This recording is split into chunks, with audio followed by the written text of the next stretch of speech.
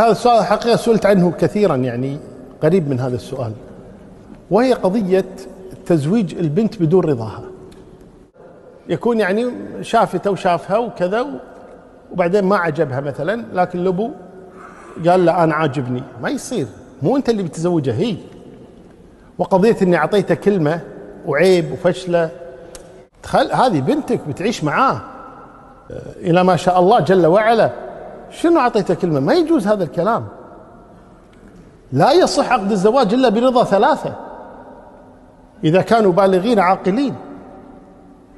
الزوج والزوجة والولي. ما يصح العقد حتى يرضى هؤلاء الثلاثة. فلا البنت يجوز أن تتزوج بدون إذن وليها أو بدون رضاه ولا الولي يجوز أن يزوجها بدون رضاها أو علمها. ولا الزوج أيضا يجوز أن يزوج بدون رضاه أو بدون علمه إذا كان عاقلا بالغا وكذلك البنت.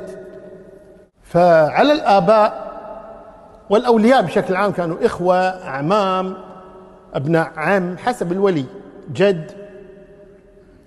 لا يجوز أن يفرض عليها من يحبه هو أو يرضاه هو أو يراه هو صالحا. النبي صلى الله عليه وسلم يقول الأرواح جنود مجندة. ما تعارف منها ائتلف وما تنافر منها اختلف. طيب هي ما ارتاحت له. ما يجوز إجبارها. فعلى الاباء ان يتقوا الله تبارك وتعالى وقضية إني اعطيته كلمة لنكن شجعان. اعطيته كلمة ماشي. بعد ذلك والله البنت ما تبي خلاص. هذه حياة زوجية. لا يجوز للآباء عليهم أن يتقوا الله في مولياتهم. الله جل وعلا لما أعطاك الولاية على هذه المرأة لتختار لها من يصلح لها. وتصلح له وترضى به ويرضى به ويرضى بها. أخرج الإمام أحمد بإسناد صحيح أن امرأة أتت النبي صلى الله عليه وسلم فقالت يا رسول إن أبي زوجني من ابن أخيه ليرفع بي خسيسته. يعني زوجني وأنا ماني راضية. فقال لها النبي صلى الله عليه وسلم الأمر إليك.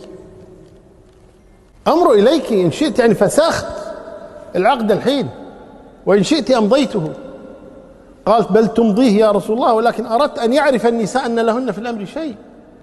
هذا حق لها المرأة لا يجوز لوليها أن يزوجها بدون رضاها أو بدون علمها. ودعوى أني اعطيتها كلمة وأعطى كلمة في حقوقك أنت في حاجاتك أنت. وسيحاسبه الله على هذه الكلمة حتى لو رضيت البنت. زعل الناس ولا غضب الله سبحانه وتعالى يزعلون عليك الناس إن أعطيتنا كلمة وراحت منك الكلمة. خلي يزعلون الناس لكن لا يغضب عليك الله. لا تقع في ظلم لابنتك أقرب الناس إليك.